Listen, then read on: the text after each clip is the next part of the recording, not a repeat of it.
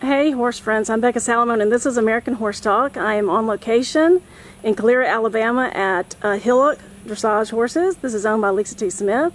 And we're just finishing up a clinic with Dan James. It was put on by Christy Scotch here of Christy Scotch Dressage. Christy, tell us a little bit about how you got Dan down here to do this clinic.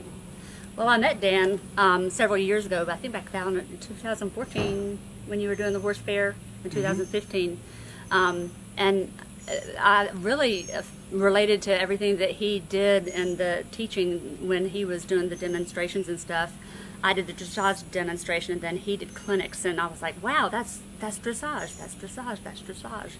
Um, and so I, we got to talking, and I was like, "I really would love to get you to Birmingham," and so we talked about it. Oh yeah, it'd be great, and then just you know, finally we were able to actually work something out with regard to time and everything. And Dan, is this your first time to do a clinic in Alabama?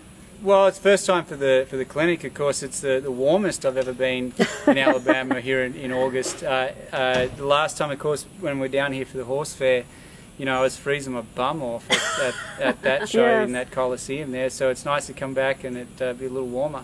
That's awesome. Now, do you have a background in dressage? You know, I would say that the background in dressage, I mean, really, it doesn't everything like really, you know, essentially start with you know flat work or, or dressage, whatever we do. So uh, rode mostly eventing horses, so of course we had to, you know, have our horses schooled up enough to get through the dressage phase uh, in the eventing. So it was, uh, you know, great, great background and foundation to come from. That's awesome. And what did you focus on this weekend here at the clinic? Uh, this weekend, the focus was on uh, starting in the introductory uh, to training a horse at Liberty. So we kind of addressed a few things both on the halter and off the line, uh, you know, in the round pen and, and, working towards where that we're building those horses to work around us, change direction, come to the shoulder, be brave to the whip. And uh, I thought everybody did a great job. It was, you know, a really good mixture of horses. Uh, Christy and her crew did an awesome job of putting this clinic together. It's always, uh, you know, difficult and a lot of challenges when, when putting a clinic on. So I sure appreciate them having me down here in Alabama. Yeah, awesome. Now you have some really good news lately. You are going to the uh, WEG, right? Yeah, I'm super excited about uh, the WEG Games. Um, of course, this time around I'm going to be competing for uh, Australia, representing Australia there. So I, I am excited about that. And uh, I've only sort of recently come into the reining. Uh, I've done a lot of the freestyle stuff in the past, but uh, only very, I guess, new to the to the regular reining. But I've got a great horse. Um, really excited about getting to go down there. And of course, we've also got another 20-something uh, demos that we're doing during the game. So we're going to have, I think, 11 horses at WEG this uh, this year. Wow, that's amazing. Now I was listening back to an interview I did with you about three years ago for Alabama Horse Talk, and it was kind of some foreshadowing in there where you talked about you'd like to get to a place where you could do uh, have a facility and not travel as much.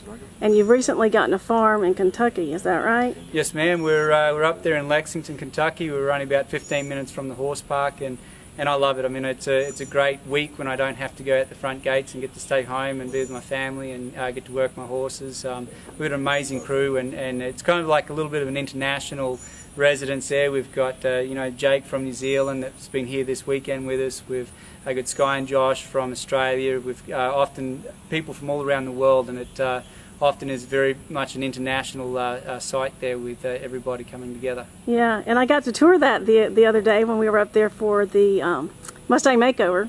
Yes, ma'am. Yeah, and then you had some damage. Is that right? Yeah, we uh, there was a large storm that went through Lexington there not too long ago, and uh, had some pretty strong winds, and uh, we did get quite a bit of damage to both trees and buildings. But you know, thankfully, by the grace of God, that He was there in the midst of the storm, and and uh, all the buildings can be repaired. I mean, it's kind of sad about a couple of the big trees that'll you know take a long time to regrow, but uh, yeah, every everyone and all the horses and that was safe and sound. So, do you have any other clinics coming up that we need to know about and well, register yeah, for? I mean, uh, you know, we've got uh, the next two clinics are going to be at home. We have another week-long Liberty clinic um, coming up and approaching real soon there in uh, Lexington, Kentucky.